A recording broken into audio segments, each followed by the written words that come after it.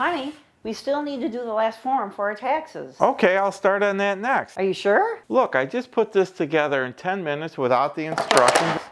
I don't think so. What starts off easy could end up to be a major complication. There's over 450 tax form changes and thousands of new computations. EG Tax has studied these changes since they passed last year.